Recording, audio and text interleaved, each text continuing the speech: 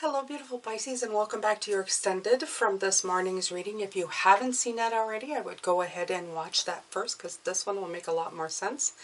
If you would like to support this channel, uh, there are different ways in the description box. I have Patreon. I have three different donation levels where you can interact with me more. I also have beautiful gratitude journals that I'm selling, also in the links below.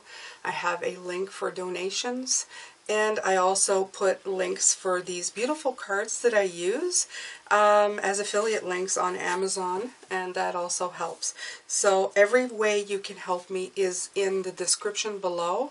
I do not have WhatsApp, and I do not do personal readings, so if you have anybody contacting you, asking you, and saying it's me, it is not, okay? Just letting you know this, so make sure you check with all the links below before you answer anything. And uh, yeah, that's pretty much it. I'm going to carry on with this morning's, which really wanted us to focus on rest, rejuvenation, and the way the world should be going, going moving forward, okay? These are the things that you should really be um, focusing on yourself as well, because a world that has going at breakneck speeds, always trying to meet the challenge of every single day, driving themselves, we're driving ourselves to the point where we have no time to think or no time to do anything. So I didn't show the bottom of the deck. The bottom of the deck has a Three of Pentacles. This is always a card of um, spirit for me. So I always feel like this is spirit coming in and saying, um, we're here for you, we're here to help you. But in this case, they're also showing me that the more of us do this, the more of us who prioritize um, rest and rejuvenation and healing and recuperation. That's all this four the swords mean. Um, the more we're going to become enlightened, the more we're going to become empowered. Okay, we're going to restore um, some of our insight, some of our um, time of what are they showing me? The uh, introspection and the wisdom that we receive the self-reflection and the contemplation we receive through meditation and rest. So that's very important as well, okay? So if you make it a, a need in your life, then you're making it a need, you're making a new reality, okay? That's all what we're about right now. That new reality is focusing on the marriage and the happiness and the cooperation of our human bodies with our spiritual bodies and our journeys here on the planet, okay? We, I don't think we were ever meant to be um, slave to our jobs. So that's, that's one of them, okay? I'm going to pull a color card. Hopefully it's not like red. Watch them give me red, okay? But I, I would know what to do with that. Yes, they did. They gave me plum. That's so funny. But actually, it's called Overcome Your Challenges 41. So I like this. Um, it does have, it's not quite as fiery red. It feels more like the plums, the, the darker reds of fall, which is nice. Um, let's see what it has to say. 41 ends up at 5. 5 hard numbers. Always hard numbers. They feel always like a challenge to me. Okay, that's going to be probably one of the planet's biggest challenge to slow it down. It it did do it in the time we had to slow down, but now that things are booting back up, uh, a lot of people want things to just you know start moving as fast as they did, and I don't. I don't see it happening. I hope I hope it doesn't. I we want we don't you don't ever want to finish a period of learning having learned nothing. Okay? So this is a color of devotion, dedication, commitment that connects you to your heart and life purpose. Okay? So it says uh, creating deep bonds and friendship relationships, assists you to stay strong through hardships and difficult situations. It's a color of deep inner strength and faith. Okay? It says to you use plum rays to overcome challenges and discover your life purpose. So it says this, if you're facing something difficult, make sure you surround yourself with plum. Wear plum clothes, shoes, or jewelry. Eat plums. Paint with this color. Visualize ray of plum to soothe your heart and soul. So soothing is good, especially we don't want to be like just, you know, pushing the envelope here. We're trying to um, slow things down. We're trying to heal. So I'm going to leave that there. Underneath is lemon in case you were interested. And it says access innovative thinking. I do believe it is also a five. So between the two of them, it's almost telling you Pisces when you take this time of rest, you're going to be accessing something bigger. And I feel this reading has been saying that all along. Okay? It is it is priority.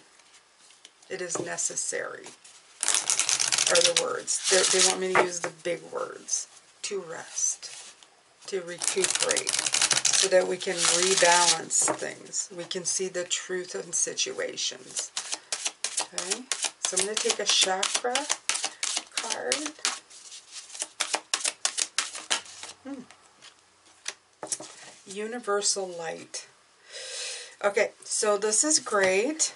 I feel the soc the the sacral chakra or at 34 is it I'm gonna I'm not gonna talk for I'm gonna look first I'm gonna look first I don't think it's third eye yeah I'm in uh, where am I it's the soul star chakra and the the thing about the universal light that I love is that when I was reading from this book this morning, what did it say?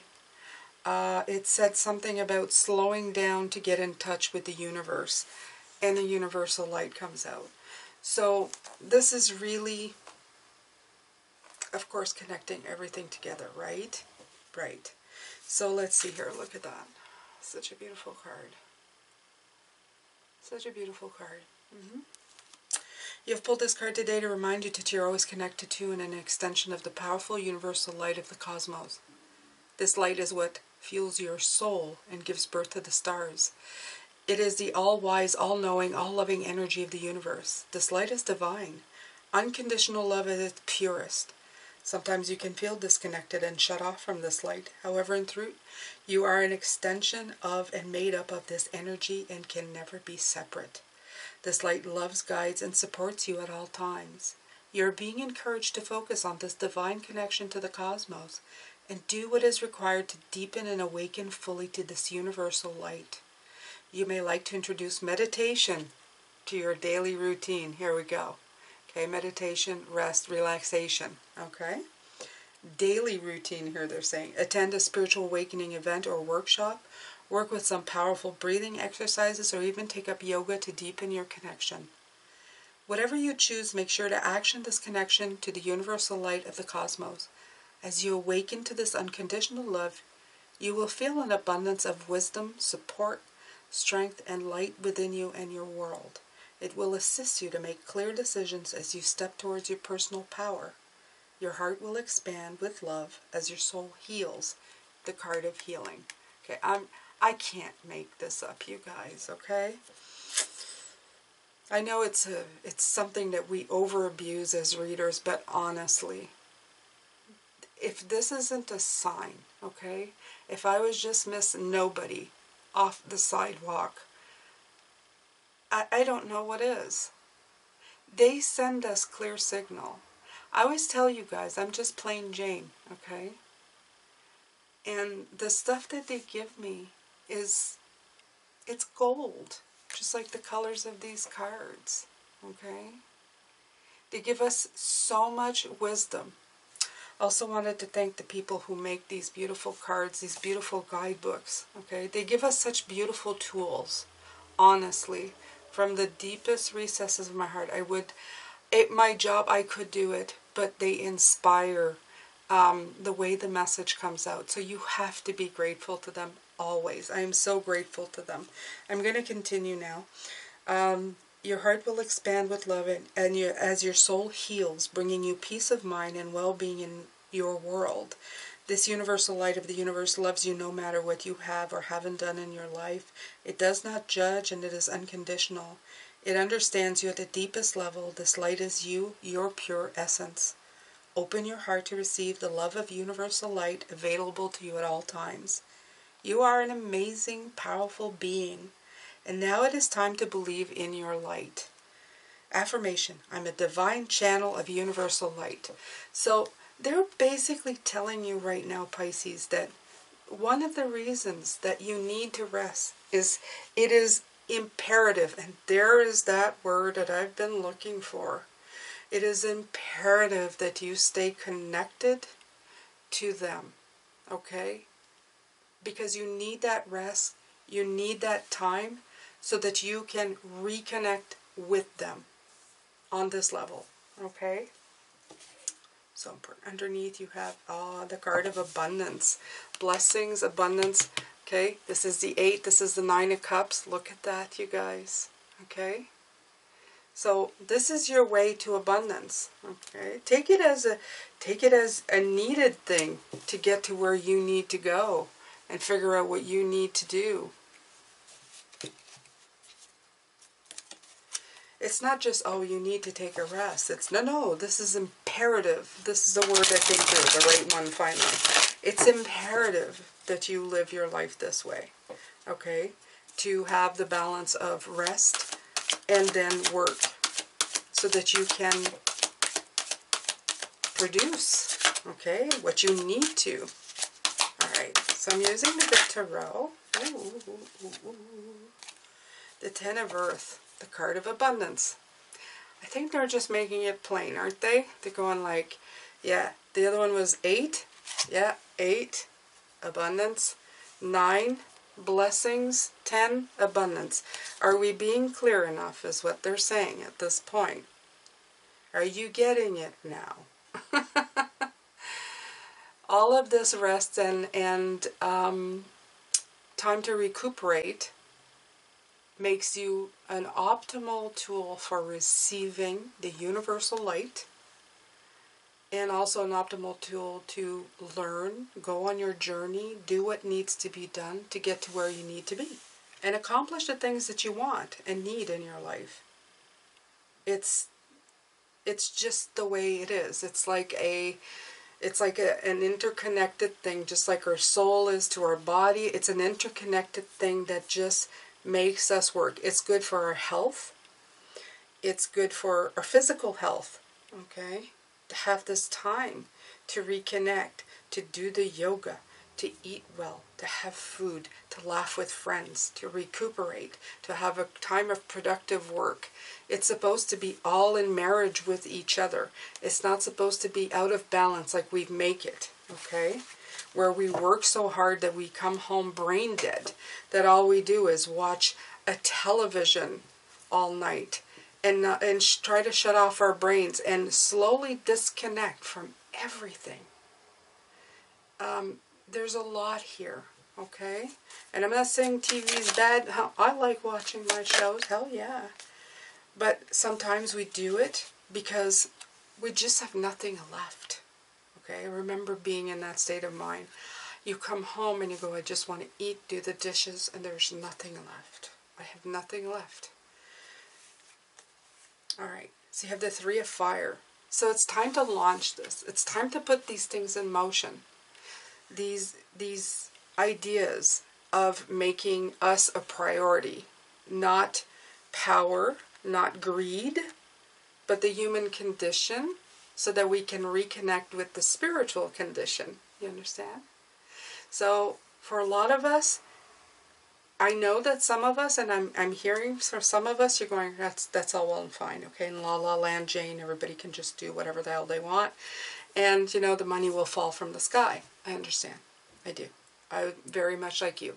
I've called myself the spiritual accountant. When they wanted me to do this, I told them, you guys are nuts. I will never make enough money to do this, as much as I would love to do this all the time. I will never be able to sustain enough to get by. Um, with a lot of luck and love from their part, I'm sure. I have been able to. Not millions, but more than enough for me to get from month to month without fearing that I'll be destitute, which is good. Okay? You have to adapt your situation to make it become what you need it to be. I would rather do this now than anything else. I would never go back to where I was, even if this ended. I need to live in a space that I have some kind of balance, more than a lot more than what it was before. And I don't blame anybody for keeping myself in that situation. I blame myself. I had convinced myself that there was no other way. We live in a world with great big opportunities now, much more than when I graduated high school in the late 80s. There you go, now you know how old I was. There was none of this. There was no YouTube. There was none of this. Everything was just about to start. It was very hard to decide to be a writer, to decide to follow your passions, because it meant adverse poverty. Now, there is so many ways that you can creatively just blow yourself up, okay? It just needs a little bit of planning, a little bit of tweaking on how you're going to live and work, but also tapping back into who you are. And this is what this is all about, Pisces, okay? You can plan these things. You can work towards it, okay? Nine of fire, nine of wands. Telling you not going to be easy, okay? But if you persevere, if you work at it, uh, like I said before, I had started doing something different, trying to help people get out of debt. That's what I had started doing here. And it turned into this. Um, that helped some people. This is helping a lot of people. But through learning and going and five and six years of working at it, Pisces, uh, even working the other job at the same time, I finally getting to a point where I'm okay, okay? You just have to keep trying. You may get tired, and this is about fatigue, okay? But persevering at the goal that you want, at what you are trying to bring forth, your abundance, happiness, finally rest and recuperation, is a different kind of tired. Okay? Tired because you are working too hard, making somebody else money at something that you have no passion about. A completely different kind of tired. If you can work for somebody else and you are passionate about their business, that's fine. Okay? You guys know what I mean. People who are stuck, you know who you are you are listening to this and you know how tired you feel. You know how at the end of it you are, okay? So maybe it's time today, at this point in your life, to look at things in a different way, okay? And don't give up. Don't give up on yourself. This is what they say. Shine the light on it, okay? Put the stars back into your eyes, back into your field of vision, okay? Make your dreams come true. Make your life the one that you have imagined. Not saying that'll never happen. Say, what can I do today? How can I take, you know, an hour, meditate, rest, take the time to reconnect with myself, to see if I'm facing my true north. Very important, okay? Yeah, they're getting in deep here. It's important though, Pisces, it is.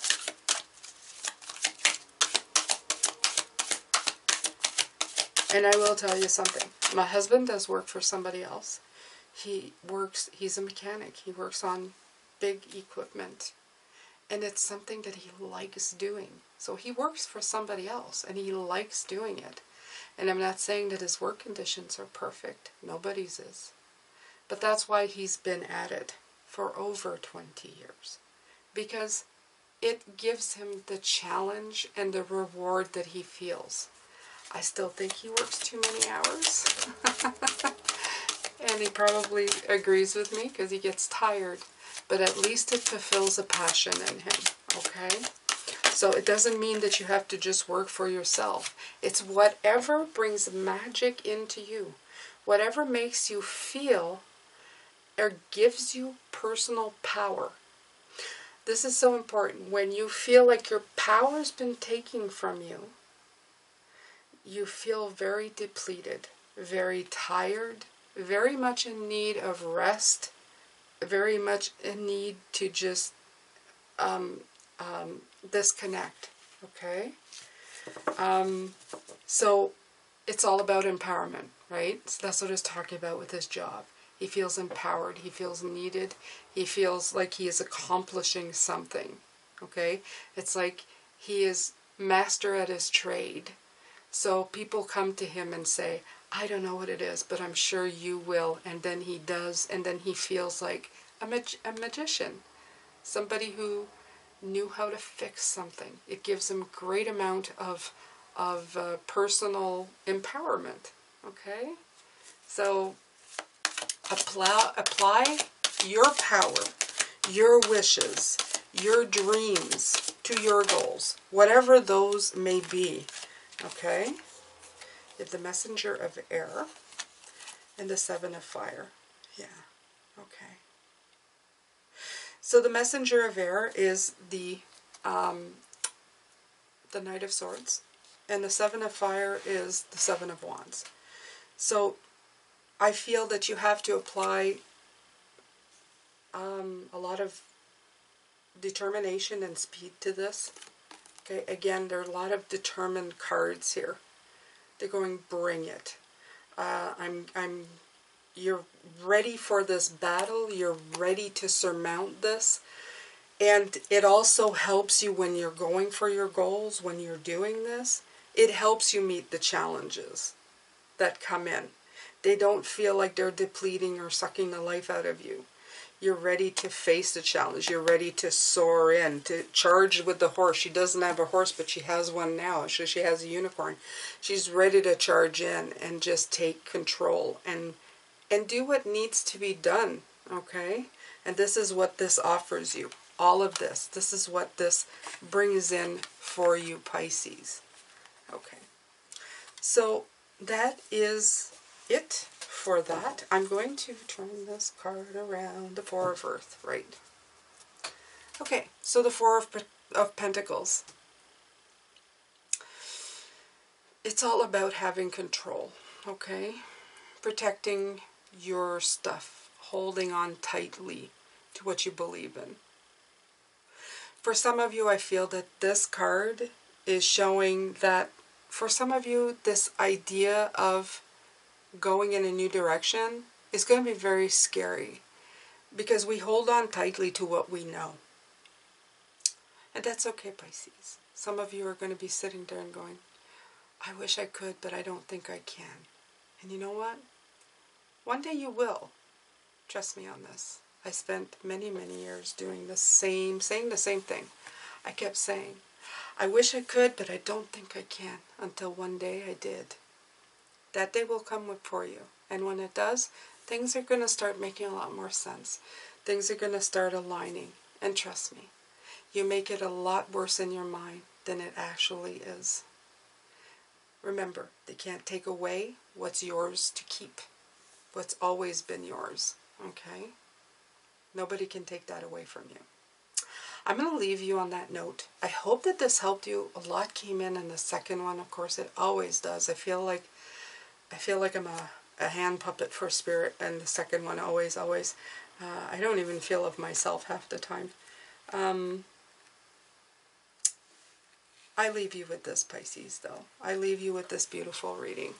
I hope that you can meditate on it and find your truth and your healing and your recovery period. I hope that you always plan it, regardless of what you're doing in your life, and and try to find time to do it for yourself. It's going to give, do you a world of good. I'm sending you lots of love, light, and blessings, and I will see you for tomorrow's reading. As always, take care, Pisces.